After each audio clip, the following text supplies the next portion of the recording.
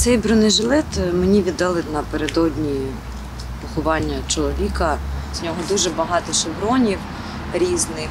Я ось вибрала оцю, щоб він пам'ятав завжди, хто він такий. Чоловік Олександри Самсоненко, військовослужбовець Юрій Дєдушев, на захист країни став одразу після закінчення школи. Брав участь в АТО. Він сказав: я не піду навчатись.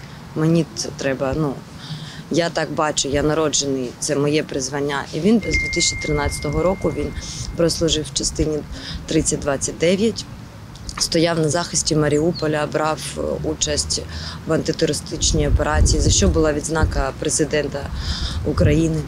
У 2015 році Юрія Дєдушева демобілізували. Чоловік повернувся до цивільного життя, розповідає Олександра. Каже, в шлюбі вони прожили сім років, виховували двох синів. Подружжя мешкало в одному з сіл Бердянського району. Там родиною застала повномасштабна війна. Олександра каже, через півроку життя в окупації евакуювалися до Запоріжжя. Коли ми виїжджали, з нами їхав якийсь ангел-охоронець. У нас був два дні було на виїзд, тому що перед цим забрали хлопця, який теж був в АТО з ним. І наступні були ми. Коли ж родина виїхала до обласного центру, Юрій вирішив знову взяти зброю до рук та стати на захист країни. Олександра розповідає, її чоловік ніс службу на запорізькому напрямку. Встав мені, як зараз цей день пам'ятаю, об 11 ночі і каже: все, мені потрібно йти. Війна без мене не закінчиться. Старший сержант його одразу поставили на нуль. Йому на голову падав дрон, скидали. Тобто, коли в домівку до них прилетіло, також вони з-під завалів всі вилазили. Тобто, ну, таких багато ситуацій. Але він старався про це не розповідати. Він хотів звільнити рідне село.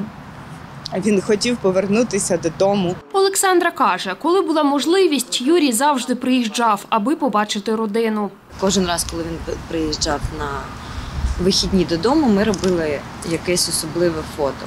Ну, тобто на пам'ять, на згадку. Це він з дітьми вже перед самим від'їздом. Робив все для дітей, для сім'ї, для своєї. У нас планувалася відпустка на жовтень, якої він дуже чекав. Казав, я дуже втомився, дуже втомився. Але відпочину тоді, коли вона закінчиться. 30 вересня Олександрі повідомили, що її чоловік загинув від мінометного обстрілу. Вони з побратимом сіли в машину і поїхали. Було два приходи спереду машини і з боку машини. У нього були осколочні поранення, які пройшли е, шия, тобто голова, міжреберні. Діти завжди чекали батька, тому що вони дуже його люблять. На, ну, на даний момент я не маю їм навіть слів, як підібрати те, що він більше не прийде.